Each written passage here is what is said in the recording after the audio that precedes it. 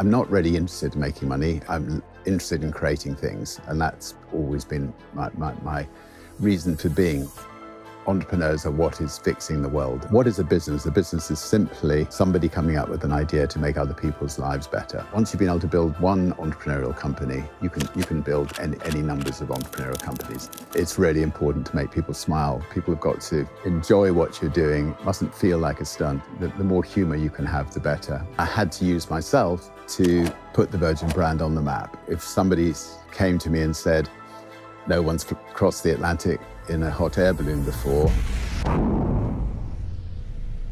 Let's take it the next step. Hey, just a really quick note to say thank you so much to all of our new subscribers. And if you haven't yet subscribed, why not? It means you're the first to know about brand new episodes of High Performance, and it also means we can attract incredible new guests to the show. So please hit subscribe right now. Enjoy the show.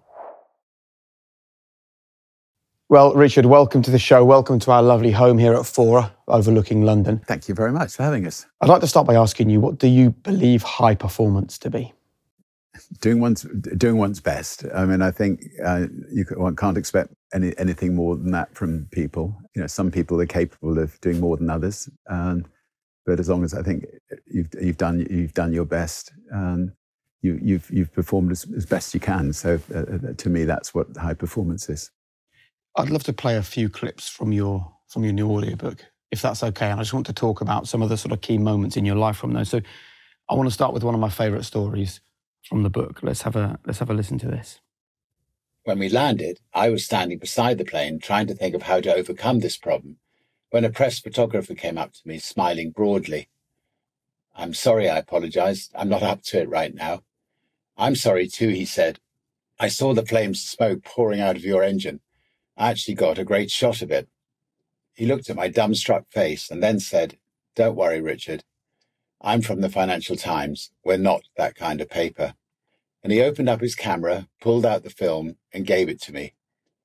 I couldn't find words to thank him. If that photograph had appeared in the press, it would have been the end of Virgin Atlantic before we'd even begun. yeah, so um, we'd got one plane. Uh, this was 40 years ago uh, this year.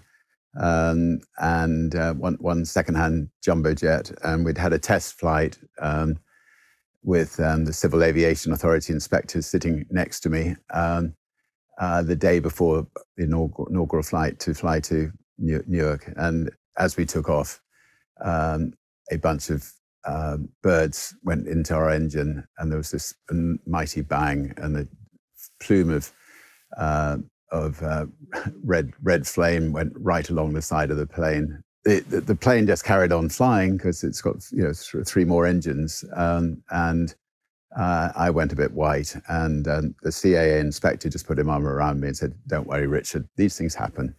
And um, which was very reassuring. And all, all, our staff were on board, and um, and and then when we landed, uh, the, the, this incredible uh, photographer from the FT um, was good enough to destroy that bit of footage, which um, I will, I will for it forever remember. And uh, overnight, we managed to borrow the money to get another engine. Uh, the next day, Virgin Atlantic took off, and um, and you know we've had lots of struggles over the last um, 40 years. Um, but um, we're, we're, still still going. Still going strong, thanks to wonderful, wonderful people at Virgin. Um, but we may never have taken off if if that if that picture had appeared all over the newspapers. And the reason I wanted to start with that clip, and the reason why I enjoyed it so much when listening to the book, is I think it it speaks to something that people just don't talk about often enough, which is luck. Everybody wants to tell you they're a great strategist or a wonderful leader or a hirer of amazing people, but would you be sitting here having this conversation with me if luck hadn't been a big part of your life? I just couldn't agree with you more. I think um, uh, I, I, often think that I've, I've, been born under a lucky star. When I was reading my, my, the Losing and Finding My Virginity book, um, my life story, I, I um, there were moments I just said said out loud, "This guy is certifiably mad. What on earth made him you know, having nearly died on the Atlantic, get, get into a hot air balloon and do the Pacific, or you know, then then go around the world in, in a balloon. Um, uh, it made for gripping gripping stories, but um, but every single time something dramatically went wrong, and somehow somebody was kind enough to guide guide us home um, by hook or by crook. So, luck, I think, I, I, you know, I think there are lots of people who work just as hard as I've worked, or just as hard as you've worked, um, uh, who haven't had those lucky breaks. Um, and um, and you know, you can you can you, you know if you keep keep trying and keep trying, keep trying, you may may get those lucky breaks, but it's not guaranteed. Um, and um, so, yeah, definitely, luck, pay, luck plays a big part in um, in survival and um, uh, and in uh, you know build, becoming an entrepreneur. There's a there's a lady called Dr. Susan Albers who's done a lot of research into luck, and her findings are that optimistic people are luckier. Optimistic leaders get more luck. What do you think of that? I think that's almost definitely true. Um, I mean, I'm a born optimist. I always look at the uh, positive side of anything and everybody. Um, uh, I will always look for the best in people. If, if there's somebody who works for Virgin, I will never criticize. You know, always praise. Um, you know, always look for for what what they've done in a positive way. If they've done something which is um, you know, um, which I, which I'm not happy with. Um, they don't need to be told. They'll know. They'll know that they've you know that they've messed up or something, and they'll make sure they don't do it again. So, so I think I think just general optimism is um, uh, is is a is a really positive trait, and I think will you're much more likely to to get, get your, your fulfill your dreams if you if you um, look for the positive in everything. Where do you think it came from in you, the optimism? I suspect my mum. Um, I mean, she um, uh, she tried everything um, in a really positive way. Um, you know, if she if she wasn't allowed to become a gliding pilot in the in the in the war, um, she would dress up as a man to become a you know a gliding pilot. You know, she would try everything, and we we would run to keep up with her. And um, she always looked in the positive side of, of, of us. I remember, I remember if, if, we ever said ill about anybody, um, eh, myself or my sisters, um, we were sent to the, the mirror and we had to look at the mirror for 10 minutes um, because she said it reflected so badly on us. They just taught, taught us, you know, to, to, we didn't like looking at ourselves for 10 minutes and taught us to, um, yeah, to, to, look, to, to look for the best in everybody. And, and interestingly, when, when you do look for the best in everybody, you'll find that most people, you know, there's, there's, there's very few negatives about most people. I mean, it's, um, I mean, I, I was um, playing tennis in Morocco with, with, with this gentleman who was a very good tennis player. And afterwards I said, come and have lunch. And he said, you know, I don't think you'll want to have lunch with me, Richard. So I said, what do you mean?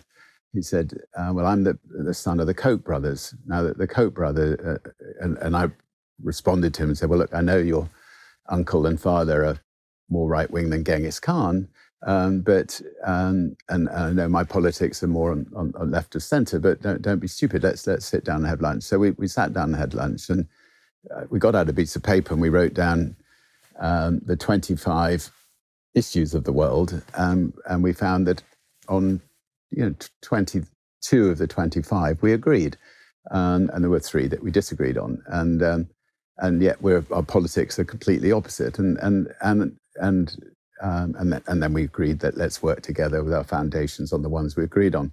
But the, the, you know, the point of the story is that most people, when you actually, you know, when when you when you get when you really get to know people, um, uh, the, the, difference between people is much less than people think, um, which is um, and and and, and I wish with with all the extreme politics that are going on, people could realize that. Hey everyone, I just want to talk to you very briefly about what I believe to be a total revolution in sleep, and it's called 8 Sleep. It's a pod cover that goes on the mattress that's currently on your bed, and it controls the temperature to suit you perfectly. And it all works from this app. Me and my wife, we like different temperatures. I actually like my side of the bed cooler. But the 8 Sleep isn't just about the temperature, it's your own personal sleep coach. So just look at the information that I wake up to. I get a sleep fitness score. I can find out more about the quality of my sleep, the kind of routine that I'm in. But it also gives me the different sleep stages as well. So I can find out how much REM sleep or deep sleep I'm getting. And then I can tailor things in my own life, like alcohol or coffee before bed or when I work out to try and improve my sleep. And we all know that sleep is the foundation of high performance. If we can improve our sleep, we can improve so much of our life. It's time to bring tech to the bedroom by going to 8sleep.com forward slash HPP, where you can get £200 off your pod and free shipping. That's 8sleep.com forward slash HPP. Tell me what you think of of the discourse that's around at the moment. This idea that you have to be on one side of the fence or the other. This kind of black or white lack of nuance. Well, I think it. I think it's. I think it's very sad, and and um, I mean, I would say that um, uh, 80, 85, 80 percent of most people are, you know, are, are in the middle, and um, people are just saying extreme things in order to, you know, get the headlines, and um, uh, but you know, most people want sensible, you know, sensible policies with you know with, with some with people running them who make sensible decisions, um, and um, you know they don't want the, the the extremes on the left or the extremes on the right, and and so it's been a pity the way the, the way the way the world has uh, has pivoted, um, and I think a lot of that may be just down, down to you know TV and um, you know, t- TV and newspapers needing you know g- good extreme stories. Mm. And it isn't it isn't even just politics, is it? You know, when I was when I was listening to the book, you know, the one of the biggest challenges for you and for all of us was the coronavirus pandemic. And you listen to your book, and you're there, you're selling large swathes of, of your Virgin Galactic business to save people's jobs so that they can carry on feeding their kids and pay their mortgage. Yet at the same time facing huge sort of criticism personally. And I just wonder, you know, how how that felt actually, because it it feels to me unfair. And I, you were in the eye of the storm. I don't know how you felt. It was, uh, uh, yeah, it, it, it was a t- it was it was a really tough period f- for everybody. Um, but it, but um, uh, but um, I mean, but obviously running Virgin, we were we were in the airline business. We just launched two cruise ships. Um, you know, fitness clubs, hotels, every, everything was closed. And, um, uh, and, um, and, you know, uh, British Airways, I think, thought they could get rid of us finally. Um, and, um, and they, they came very, very close because every other airline in the world um, as went as a group to their governments and they got you know loans from the government, or at least they got backup loans from the government's yeah. guarantees. And um, British Airways said they didn't need it, and um, uh, and so we had to get very expensive money to to to uh, keep Virgin going. And then the second we got it, they then got massive loans from the government, and um, and some, somehow managed to. You know, um, you know, pull a blinder on us basically. But anyway, we survived. That's the main thing. I've you know flew in on Virgin Atlantic yesterday, and um, uh, it was as delightful as it was 40 years ago. The staff were as delightful as ever, and it's a great airline. And it was definitely, you know, definitely, um, you know, one, um, um I'm so so so pleased that we got we got we got through, you know, and the cruise companies going strong and everything's you know building back up again. And have you kind of have you built your armor over the years? Because I read this great quote that reminded me of you the other day when I was preparing for this interview, and it said you can always spot the pioneer because they're the ones with arrows in their back. Does it has it felt like that at times over the years? Do you feel? Do you know? Ge- generally speaking, I would say um, that uh, that I, that I've had um, a kind kind press over the years. Um, I mean, there was, um, you know, British Airways have always been a thorn and a, you know an arrow in our back, yeah. and and anytime they feel they can uh, push us, uh, you, you, know, get rid of us, they'll they'll they'll do everything they can can to do that. The few times we've had negative press is is you know quite often been inspired by them to um, yeah to to yeah, get rid of us. And um, I mean, there's a feature film called, um, I think, Hot Air or Dirty Tricks coming out, uh, being made at the moment about the Dirty Tricks campaign that British Airways launched to try to um, ber- themselves of Virgin. Um, and you know what was extraordinary about that Dirty Tricks campaign was we only had four planes, and yet the lengths they went to get rid of us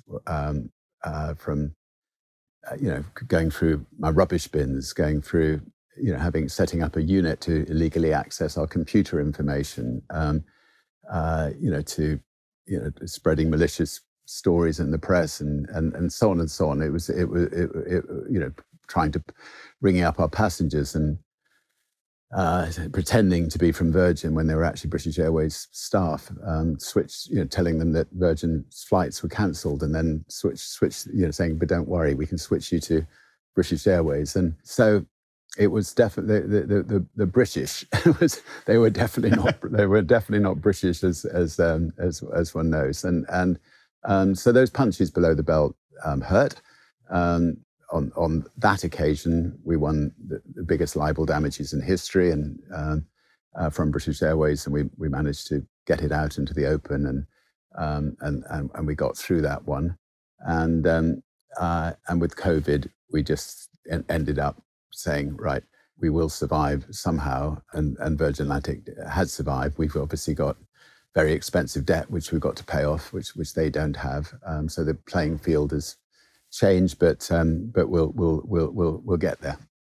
So let's talk about the importance of resilience. Then we have a lot of entrepreneurs, business owners, self starters that listen to high performance. What would you tell them about the importance of resilience after the life you've lived and the challenges you've faced and overcome? So I think when when you're setting up a new company, um, protecting the downside uh, is very important. So, you know, like uh, with your first company, it's not always easy to protect the downside. So I must admit, you know, I, I would mortgage everything with, with, with, my first my first ventures. So, you know, I, uh, I mean, oh, you know, the houseboat. You know, I would, I would say to Joan, my, my, girlfriend at the time, can you just sign here? You know, um, don't don't worry about it. So when you're building up your first business, it's it's you're, you're almost you in those days there was no such thing as venture capitalists or people you could go and get money. So you know everything you somehow had to generate your own way of creating your business. And and um, but once we'd gone from you know building a record company and and uh, uh and you know it was now it was now um, the most successful independent record label in the world. We just signed the Rolling Stones and Janet Jackson and so on. And, we, and I decided yeah, the airline business is shite, and I'm sure that we can do it better. And but I couldn't be sure that it would succeed, um, and I couldn't be sure that other people would agree with me. So the, the, the key was in the negotiation with Boeing for the plane was the right to hand it back to them at the end of the first 12 months um, if um, if it didn't work out. And uh, and Boeing agreed to that. So I could then say to the, the team, the, the, other teams at the record company, look, we're not going to put you out of business if the airline doesn't work. We can hand the plane back. Um, uh, you know, it gives, it gives me 12 months to prove that, you know, we, we can create a great airline. And as it turned out, at the end of the first 12 months, it, it, um, everybody loved Virgin Atlantic. And we got another couple of planes from Boeing. Um, but we, we, the downside had been protected. And, and ever, ever since then, any new business I do, I look at ways of um, protecting against absolute disaster. So, um, you know, so Virgin, the group, we still own 100% of. Um, uh, and then we have subsidiary companies. Um, and so, you know, when, when we're going into space, you know, it's a standalone subsidiary company, separate, separate from um, the, the, group and and um, you know Virgin Trains was a separate company and um, and so we can then bring other shareholders into those companies and if if God forbid anything went re- really wrong with any one individual company, it's not going to bring the rest of the group crashing down. Yeah. Well, let's let's talk about that then because I want to play this clip from your book. You're a megalomaniac, Richard. Simon said. We've been friends since we were teenagers, but if you do this, I'm not sure that we can carry on working together. What I'm telling you is that you go ahead with this, over my dead body. So that actually is the reaction, isn't it, to you saying you wanted to set up an airline? Yeah, I mean, it, it, it was universal um, within within Virgin and um, uh, and outside, um, and even uh, you know Lord King, who had headed British Airways, said, um, uh, "Too old to rock and roll, too young to fly. You know, you'll never succeed." Basically, and you know, I owned 100% of the company. I, I'm not really interested in making money. I'm interested in creating things, and that's always been my, my, my reason for being. So the idea of you know creating the best airline in the world, um, uh, you know, was something that excited me. Um, I, I, felt I felt was needed. I mean, in those days, you know, if you flew on British Airways or TWA or Pan Am, you know, you were luck, lucky to have a lump of chicken dumped in your lap. You, there was no entertainment. Um, the, you know, there was old planes. The crew obviously were thoroughly unhappy working there, and um, and there was no you know no redeeming good factors about them whatsoever. So you know that was perfect perfect for us to come in with something fresh and, exciting, and um, and that, and and that's what you know what we've tried to do throughout my life is create create things we can be really proud of and uh, not get the accountants in because if, if, you get the accountants in, you know they're going to tell you why you shouldn't do it. And just, but my, my, my feeling is that if you create something that is exceptional, that more money will come in in the year than go out, and then and then the accountants can add up the money at the end of the year, and hopefully they'll tell you that more money's come in than gone out, and and, and then um, you can you can go on to the next year. And um, and I'm a great believer in just um, you know, just saying, screw it, let's try it. I mean, as I was walking in, somebody was telling me that um, a friend of theirs called Rowan Gormley, um, you know, many, many, many years ago, um, was in a, in a, in a meeting with me, and um, they were talking about, you know, he said, well, why, why don't we do financial services? And everybody in the room looked at him and went, well, you know, why on earth would Virgin be in financial services? And um, uh, and then Rowan said, because it's a you know, because it's um, you know, it's a it's a it's a dreadfully dreadful industry. They try to rip you off. Um, you know, it, it, would be ripe for Virgin to go in and shake it up. And and I went, yeah, let's do it. And Rowan went, what do you mean, let's do it? I went, I said, yeah, let's start it. You're you're, you're now managing director of, um, you know, Virgin Financial Services. So go go ahead and do it. And and and that's what he did. And and um, uh, and many years later, um, yeah, Virgin Money uh, grew and, and, and it's been very successful. So I think, you know, just, just um, that, that, that screw it, let's do it mentality is very important. And it plays into the idea of exploration. Let's listen to this. I've always lived my life by thriving on opportunity and adventure. And some of the best ideas come out of the blue, and you have to keep an open mind to see their virtue. Just as an American lawyer called me to suggest setting up an airline in 1984, a Swedish ballooning fanatic asked me to fly across the Atlantic with him in 1987. The proposals come in thick and fast, and I have no idea what the next one will be. I do, however, know that if I listen carefully enough, the good ideas somehow all fit into the framework that Virgin has become. So if I listen carefully enough, a good idea will fit into the framework that Virgin has become. So what are you listening for? Well, on that occasion, you know, we didn't have the internet. Um, we uh, we were building um, what what we hoped would become the most respected brand in the world, and um, and uh, and I had to use myself uh, to uh, put the Virgin brand on the map. So um, so if somebody came to me and said, "No one's crossed the Atlantic in a hot air balloon before," you know, my brain would have said, hmm, we could have quite a big Virgin sign on the side of that balloon. Um, it'll be fun to go and learn to become a ballooning pilot. Um, uh, uh, you know, maybe, maybe, maybe I should give it a go. And then I remember saying to him, "Are you married? Do you have children?" And he said, "Yes." So I thought, well, he's not. He's not. He obviously doesn't want to commit suicide. Um, uh, I'll, um, yeah, let's take it the next step. And um, and then a couple of weeks later, I find myself in Spain, um, get, getting my ballooning license, and um, and start the start of extraordinary adventures um, that uh, had many, many, many ups and, and, and many downs. Indeed. Including bouncing across the ocean, which was one of the ups and downs. What really intrigued me when I listened to that, because you know, just being involved in high performance, Richard, just uses up all my spare time, all my mental capacity. I feel kind of at the edge all the time. Yet you were running all these businesses, involved in all these companies, doing all these amazing things, and still found the time to get your pilot's license for ballooning, go and do these amazing challenges with Per, hop on a speedboat and race across the world. How did you find the time to, to do the, the things you were doing aside from just sitting in an office and running the businesses?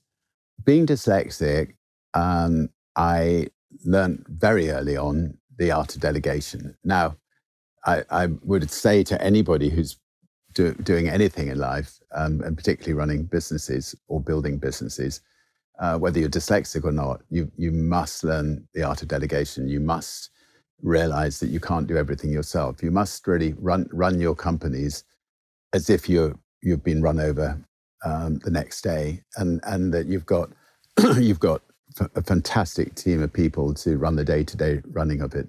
I'm a great believer in, you know, getting a company set up and then, you know, two or three months later, you you leave the building um, you put somebody else in charge. Um, I went used to go back to my houseboat. Um, uh, if if there's somebody else in charge in the building, um, then a lot of their time is going to be spent. People always want to see the top person in the company. Uh, just you know, being polite to people. Um, you know, doing do, a lot of time. Time is wasted um, being the top person, whereas you now are out of the building and, and you can start thinking about the bigger pictures and and um, and and um, and you know move, move, into the next next venture or in you know or or jumping in when when there's firefighting that really needs you to fix it or um, you know jumping into um, uh, yeah to, to, to, you know to put to put the company on the map you know unfortunately I think I, I've managed to surround myself with great people over the years. How do you find great people? I would say that the generally the best people that one finds are from within the company, um, and uh, bringing in the so-called experts from outside. Um, people often make big mistakes, um, and if you're not careful, you can actually ruin a company by bringing somebody in at the top who's not imbued imbued with the um, philosophy of your company and the g- general atmosphere of the company. Did um, you learn that by making that mistake?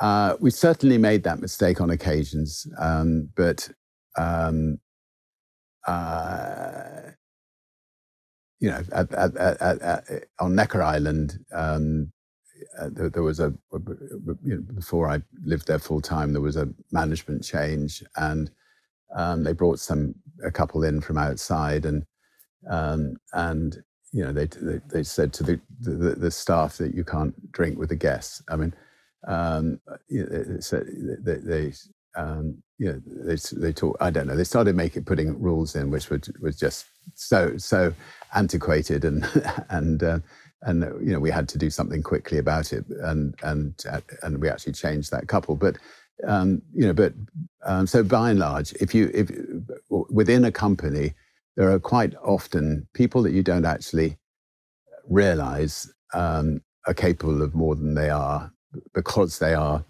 the receptionist or because they are um, doing something you just you, your, your brain pictures them doing that but if you give them that chance to do something um, something more they they all, and they'll often be so grateful that they, they will actually surprise surprise you and um, will, excel, uh, will excel at, at, at uh, you know, a bigger appointment. So, what would you advise for our audience who might always go outside to find the, the next appointment? What would you advise they they ask of the people in the business? How do they go about working out if someone that's doing a certain role in the business is capable of, of more responsibility, of a greater role? So I think I think it, the people who are running a company should know uh, know all their people well, um, and uh, you know, they, I mean, like they, by they should go out to the pub together. Um, they they they um, uh, you know should let their hair down with with with, with the people who who work work with them, and you know, especially when the company is relatively small, they they they they, should know you know which people um, have got have got capabilities that are more than uh, uh, more more than more than they currently have, um, and um, uh, and as a leader, you know, I've you know, I think it's very important that you know if you if you have a staff party, you know, you're the first into the swimming pool fully dressed, so that everybody else can come in and have a good time. You're the first to be dancing on the table. Make sure that it's a strong table. Um, on Necker, all our tables are built for dancing. Um, uh, so it doesn't collapse under you and you you, you look a real fool. Um, but um, and what does that do for people? It, it, it, gives them the permission to let their hair down and have a have a great night. There are parties where you, you see the directors sitting with their ties and their suits in the corner of the room sipping sipping champagne and, and everybody else feels that they they must stand around sipping sipping sherry or champagne and and um, uh, uh, and everybody has a pretty dull night. So I'm just trying to illustrate that um, uh, that you know uh, people are human are human beings, and um, you know you you, you should um, the people you work with should be you know could you know, think of them as your um, your nephews, your nieces, your children, your, your, you know, and and your your your your friends, yeah, and and um, and and just make them feel completely at home in in in, in the company that they're working for.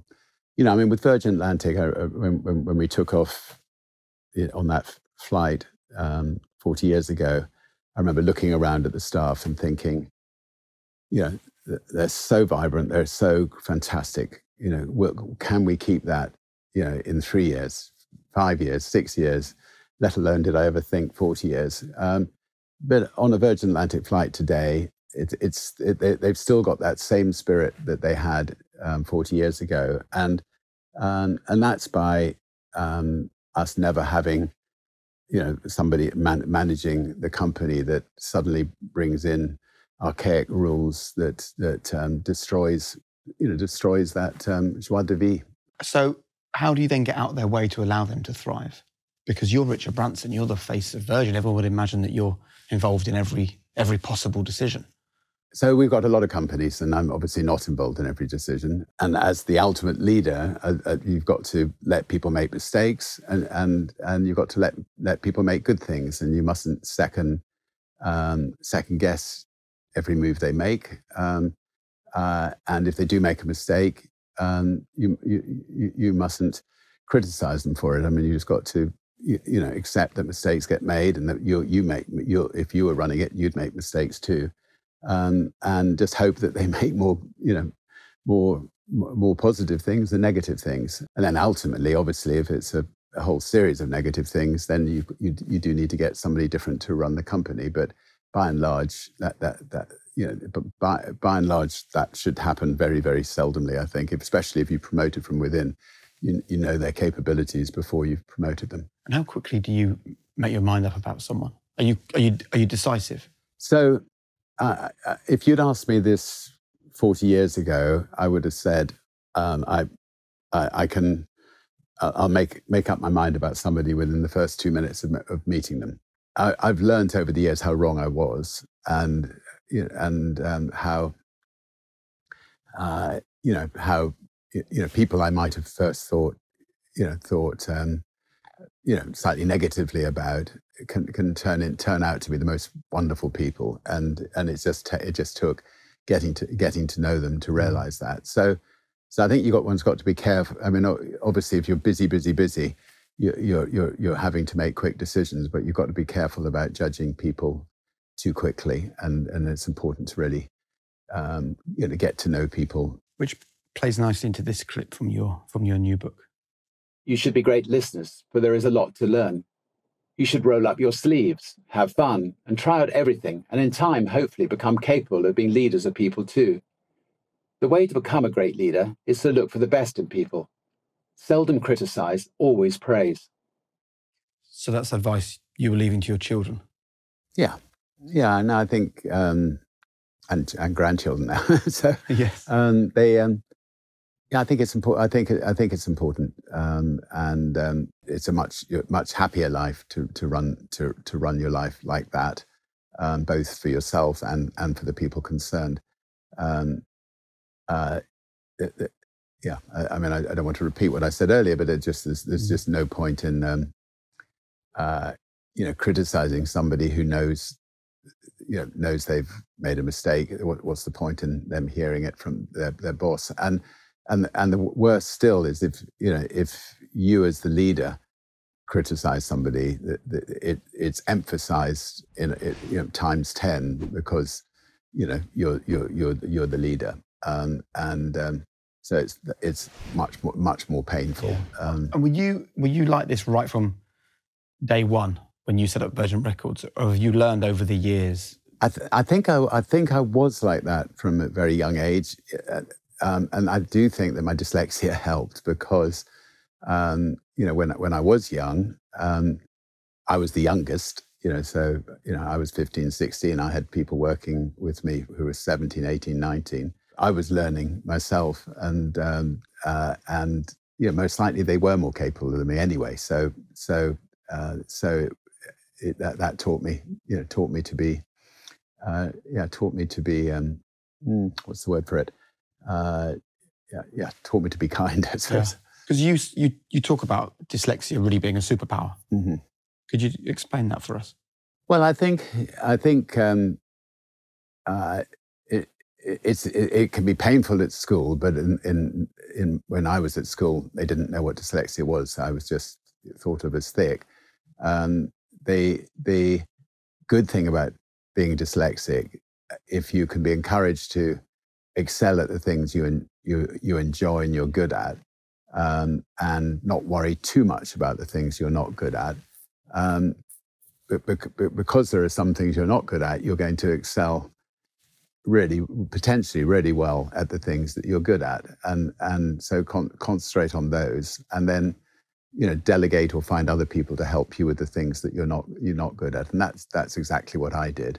If I hadn't been dyslexic I would have stayed in stayed in school till I was and then gone to university and and um, not you know not not done this sort of slightly more taken the more unconventional path that I took. One of the other things you talk about often is is the importance of writing things down using your notebooks. Let's listen to this. My most essential possession is a standard sized school notebook, which can be bought at any stationery shop on any high street. I carry this everywhere and I write down all the comments that are made to me by Virgin staff and anyone else I meet.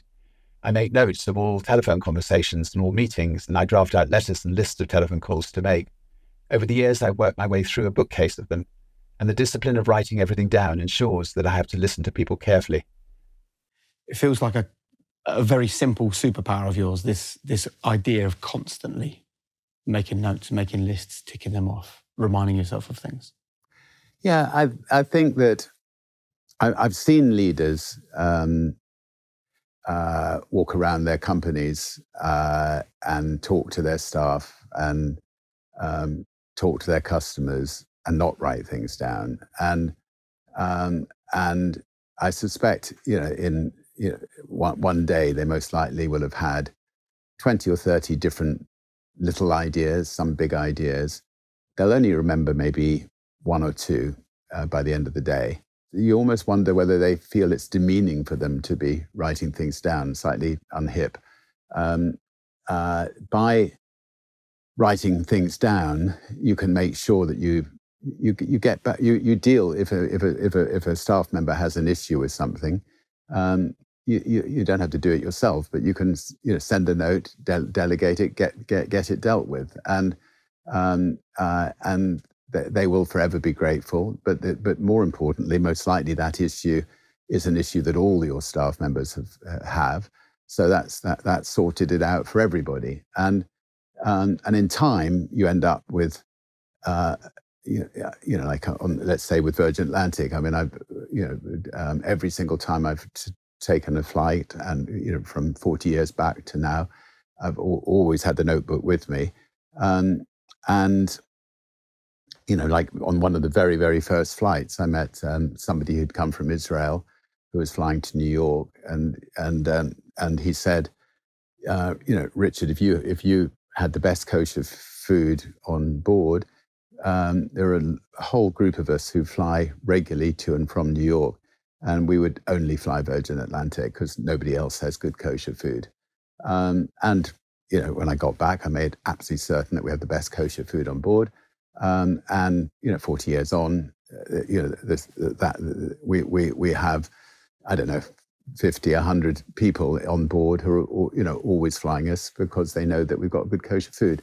I mean, that's just one of thousands of little things that you you, you just tick tick the box, and um, and it, and it can, and it can make the difference between uh, a company surviving or not. But it but it, it but it also makes for a an exceptional airline or an exceptional train company or exceptional cruise company rather than just a, an average company. And and um, so I think and, lead, lead, leaders should be doing this all the time. Because I think a lot of people believe that leaders are the ones that have to answer questions, but it sounds like you're saying the most important thing as a leader you can do is ask questions.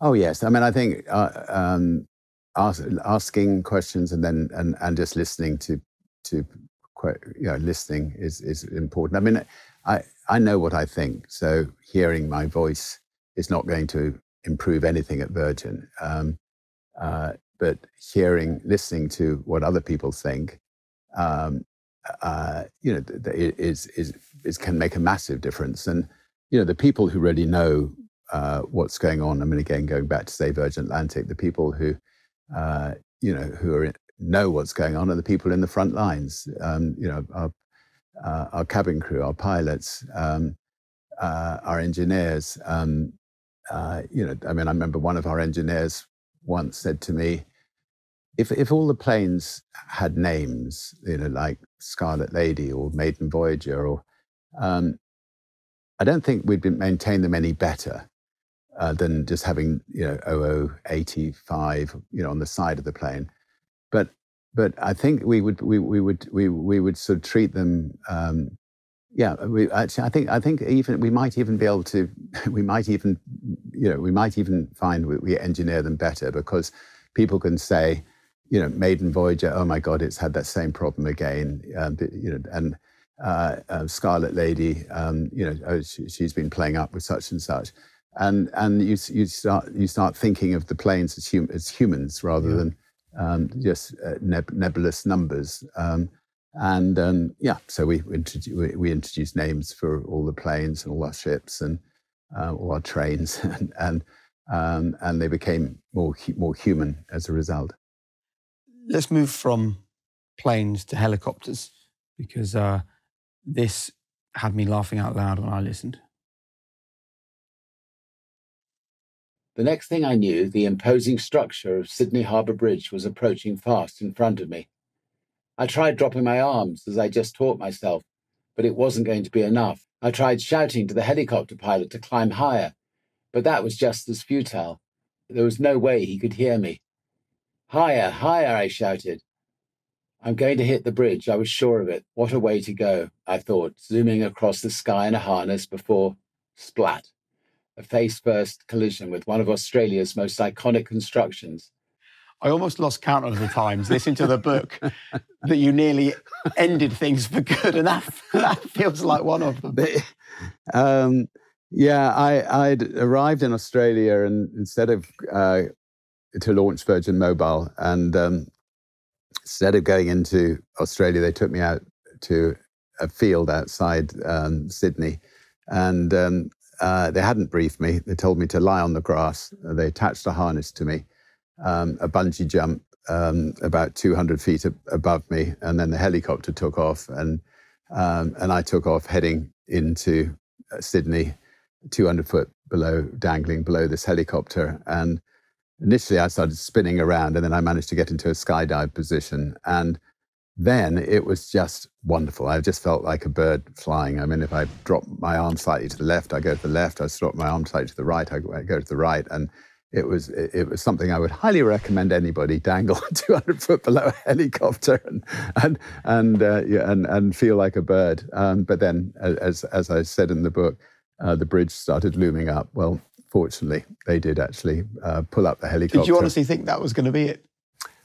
I uh, hopefully assumed that uh, they they would they would pull up, um, but um, but but I definitely I, I, could see the faces of the people walking across the bridge. Wow. Um, uh, I think there were more more hairy moments in my life than that. Um, but, but, that was but but um, uh, but we then landed the other side and and uh, uh, on these cages where all these people who had contracts signed to Orange and uh, other other mobile Cellnet and other mobile phone companies, and I gallantly released released released them all, and um, and then we launched Virgin Mobile. But um, I think almost every um, everything I've every new venture we've done in in my life, we've I, people just assume that I'm going to do some massive stunt to put it on the map, and um, assume that I w- I won't say no.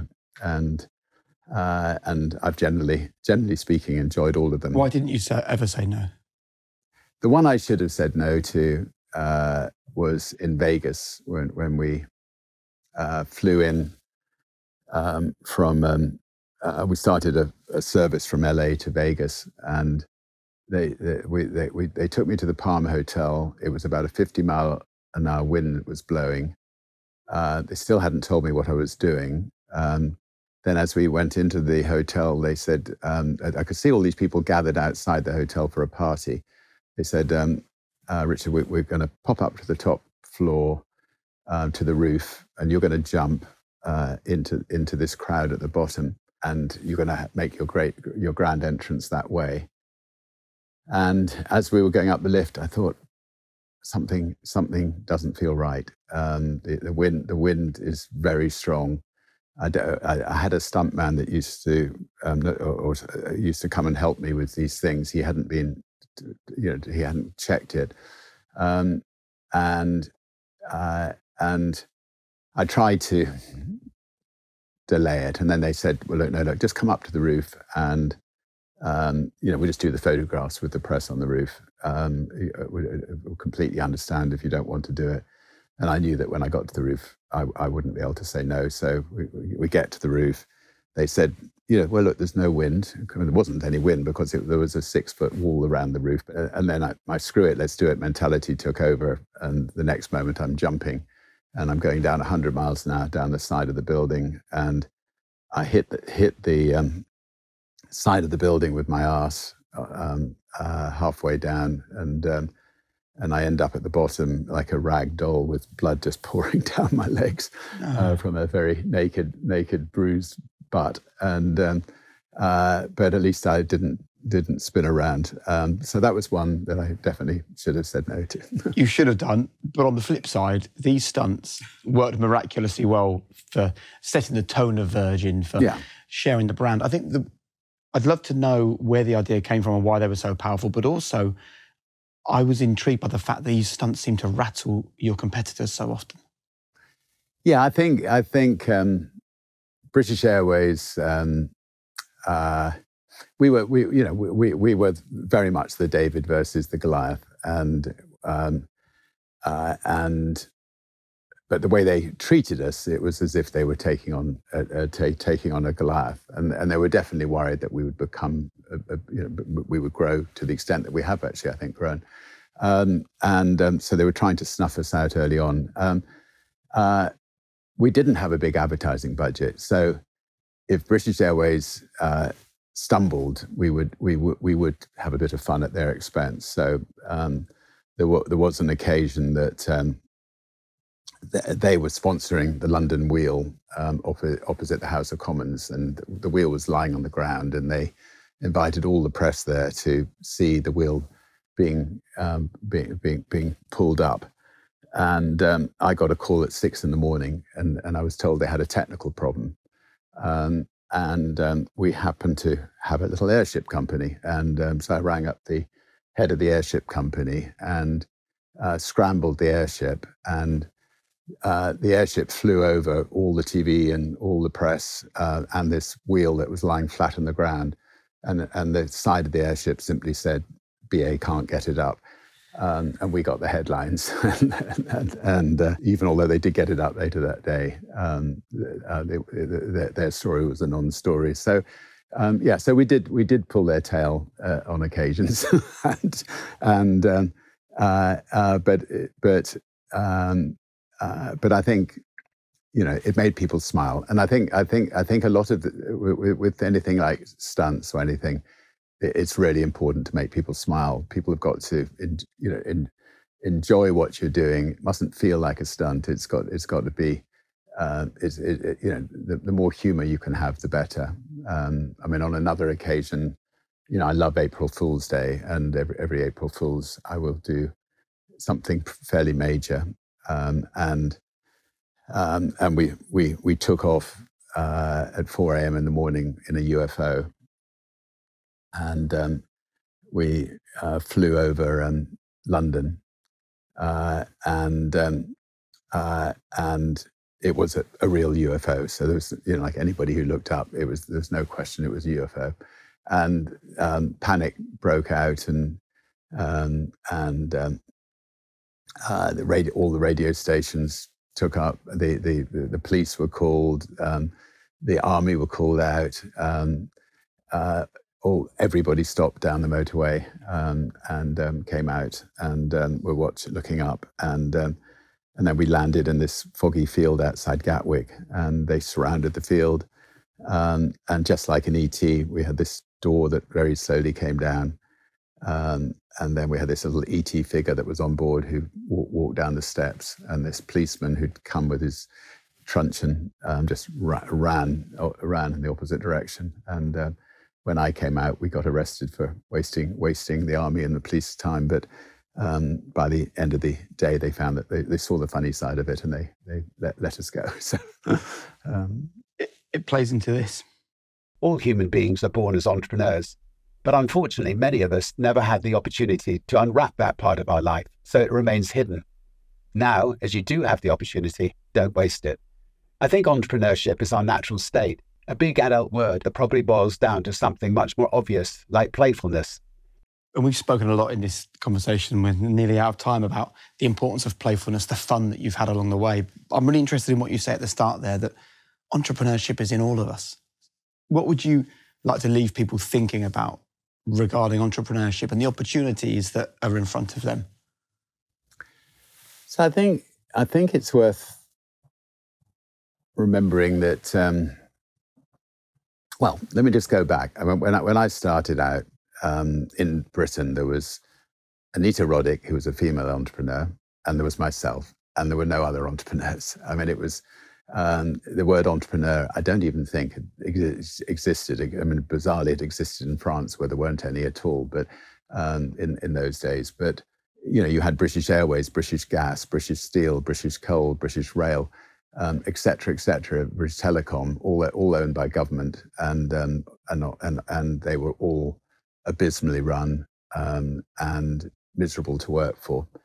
And then entrepreneurism got born, and um, and entrepreneurs are, you know, I'm biased, but I, you know, entrepreneurs are what is fixing the world. I mean, entrepreneurs are improving other people's lives in every single different area, and um, and entrepreneurs. You know, if climate change is going to be fixed, it'll be through entrepreneurism. I mean, with with government setting the right the, the right the right boundaries, etc.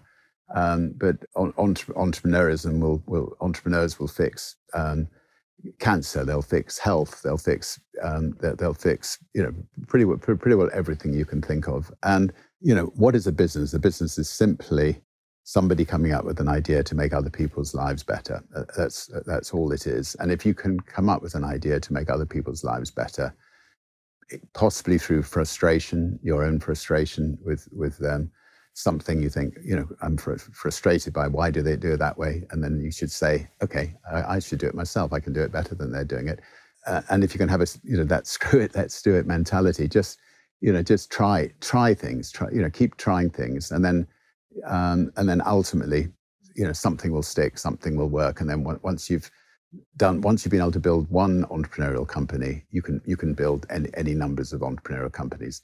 Um, you also need to remember that companies is just all about people. I mean, if you you know find find really good people who believe in your idea um, and give them the freedom to go and uh, um, and go and um, uh, excel, and you hopefully will have have a really successful um, successful company and um, be yeah be proud of what you're doing. Brilliant. Right, we're going to finish with some quick fire questions, mm-hmm. if you don't mind. What do you believe are the three most important behaviors for, for any business person? Um, surrounding themselves with great people, um, um, uh, uh, believing in what believing 100% in what they're doing. Um, uh, and um, because they because they believe in what they're doing they they um, will work day and night to um, you know to, to put the company or um, or the project on the map and make it succeed what advice would you give to a, a teenage richard just starting out on this journey uh, screw it just do it what's the best piece of advice you've ever been given I think I mentioned it earlier, but just look look look for the best in everybody. Yeah. AI. Positive about the future with AI or worried about it? If I have to choose one or the other, positive. What lights you up at the moment? Uh, the ability to use use my ability to be able to ring anybody in the world and get through to um, make positive change there's three things that I want to share that Holly, your daughter, put onto social media and I get an answer from you on. The first thing she said is you've taught her the importance of being present. Why does that matter so much?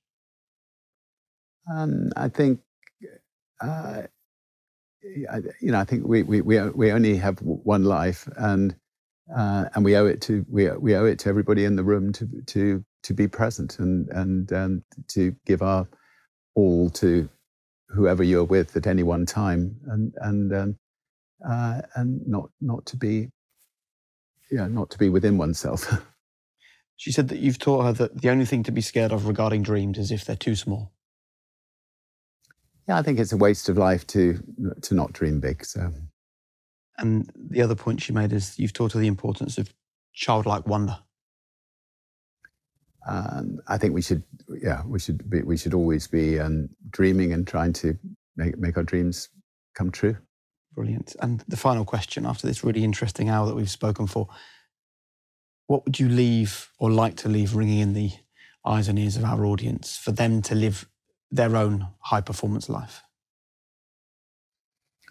Um, I think I think just to spend your life um, do, doing uh, something that you can be proud of, um, and um, yeah, and surrounding yourself with people who um, uh, who can be proud of you and proud of what they're doing. Brilliant. Sounds like you've enjoyed the journey. Uh, so far, so good. and it's a long way from over yet. thank you very much. Richard, thank you. Yeah, great. Lovely to see you. Yeah, well done. You. Thank you.